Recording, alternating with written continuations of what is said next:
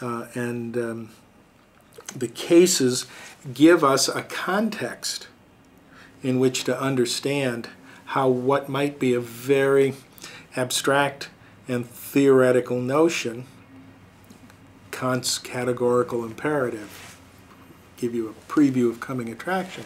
Kant is a universalist. He believes that truths are consistent in every situation.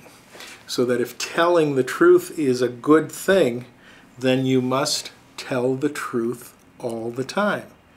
And any time that you choose not to tell the truth, you're being expedient. You're being um, less than true to um, to the to to the, the philosophy, um, and you're you're ultimately not being good. Um, well, that's a great concept, but the strength of its efficacy is can it be applied to real life situations?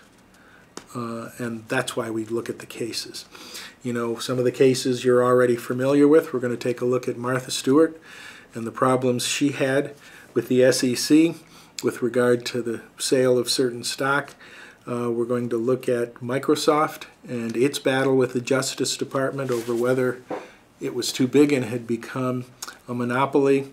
Uh, we're going to be looking at uh, a number of other cases um, to take what could be a very dry concept and uh, give it uh, a practical context. The other way we're going to utilize the case method is you're going to write one. Um, we don't have a research paper eh, per se, but we, I do want you to create a case study. And in the case study, you will be free to choose the topic that you have interest in. And I suggest you start thinking about your topic by going to the table of contents to the textbook and looking at the various issues that are covered in the course and saying, golly, that's an issue that uh, I have some interest in. I'm interested in um, corporate relationships in an international context, um, how, you, how you do business with people for whom there are completely different cultural uh, approaches to business. Or maybe you're interested in the environment, maybe you're interested in politics, maybe you're interested in civil rights. Go with something that you're already interested in. And then in your case study, you're going to choose an actual corporation that had to confront an issue that's relevant to this course. And then you're going to write a case study, very much like the case studies we have in the, um, in the textbook. Uh, all right. Uh, by now, you all should have the syllabus and the student questionnaire. Um, if you would please fill out the student questionnaire and bring it to, to class the first time that we meet. I'm going to spend a few minutes going over the syllabus. If you want to pause and pull the syllabus out, I suggest you do that um, so that uh, you understand exactly what the requirements for this course are. And as I said, uh, when we get together um, on, I believe it's the 12th, uh, we're ready to go uh, and out of the blocks. So we began with the syllabus, the instructor, my name, Michael Einheuser. Uh, I've given you my office phone number. If you have a question, feel free to call me at the office. I'm not always there to take the call every time you do call, but in our office we have a, a protocol in which we return people's calls within 24 hours. You also have my email. Obviously, in this day and age, email is usually the most efficient way um, for us to communicate. We're going to be meeting at the Oakland Center, which is a satellite office, I don't have an office there and I don't conduct regular office hours. But if somebody would like to talk to me, needs to see me, give, you know, I'd be give me a call, send me an email.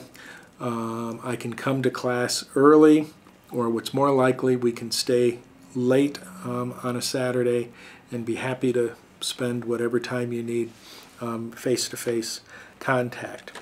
Bottom of page one, the objectives of the course. I'm not going to read them to you, um, but I want you to take a look at them.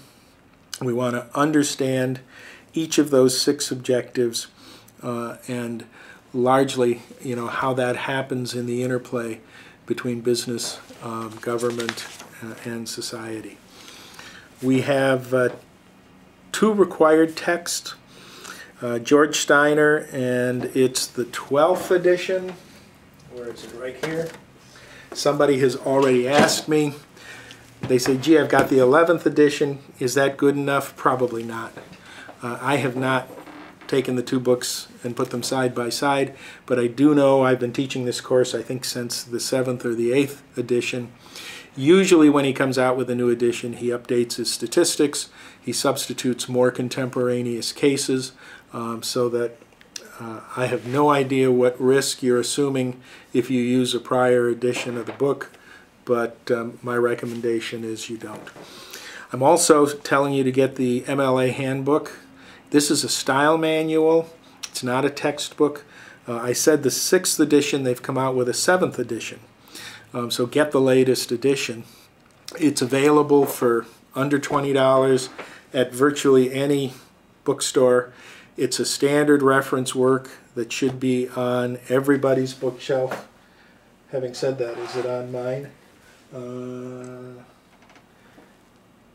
doesn't matter. I do have it. Um, but it's a it's a standard reference work and what it is is it's a style book it tells you that when you're writing for an academic audience. Here's how to format it. Here's how to do your footnotes. Here's how to do your bibliography etc etc etc it is my when you write your term paper your term paper your case study I want you to do it in the MLA format. Okay? Let's talk about course requirements, the middle of page two. Class attendance, preparation of assigned readings, and participation in class discussion are required. Attendance, does that mean I'm going to take attendance and it's going to be reflected in your grade? No. I am not going to take attendance. Um, it's obviously up to you uh, you're, you're, we are all consenting adults, and we agreed to spend this time on Saturday morning together, so that's on you. I understand the vicissitudes of life, and sometimes people aren't going to be able to attend. Um, that's on you. Don't send me an email saying I'm not coming. Here's why. It's a, it's a, uh, a no-fault system. If you can't come, you can't come. I recognize that. I appreciate it. I'm not going to evaluate whether you have a valid excuse or not. If you can't come, don't come. Uh, but the fact is, you have to attend class if you want to do well.